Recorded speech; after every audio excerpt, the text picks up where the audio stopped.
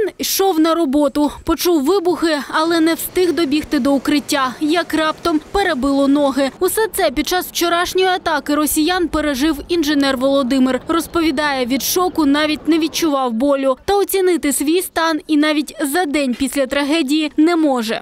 Якщо не вважати відрізаних ніг, то добре.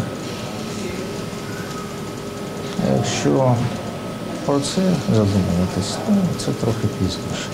Разом із Володимиром до однієї з лікарень Дніпра надійшло ще четверо поранених. Одну з них жінку врятувати не вдалося. Усі інші травмовані це жителі від 49 до 72 років і досі тяжкі, кажуть медики. однієї важка черепно-мозкова травма. Зробили трепанацію, важкелезну операцію.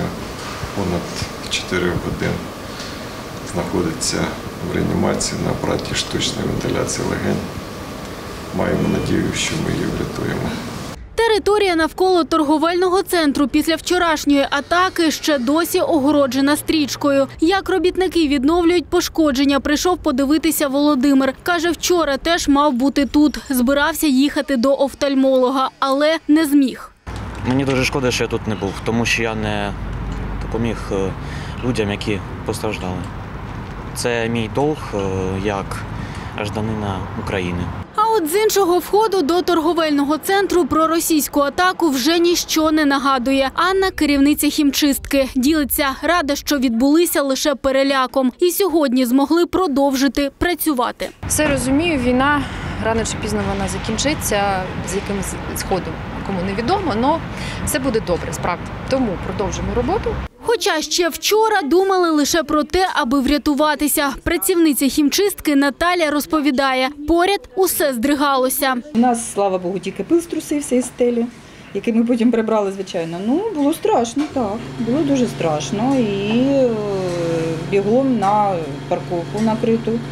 І звідтіля вже спостерігали, як там двері вилітали і таке все інше. Тим часом у спортивному комплексі неподалік вилетіло приблизно 66 вікон, а також понівечило стелю площею у зо 300 квадратних метрів, розповідає заступниця директора. Велика ванна працює.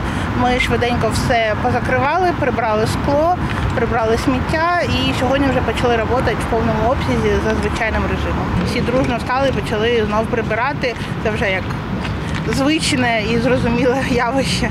Скінчилося, пішли прибирати. Прибрали, пустили, відкрилися, працюємо далі. У міськраді ж кажуть, нині відновлюють будинки. З них шість багатоквартирних, там понівечені три двері та півсотні вікон. Роботи ще тривають. Айміна Арнаут, Данила Варава та Руслан Герасименко. Open News. Телеканал відкритий.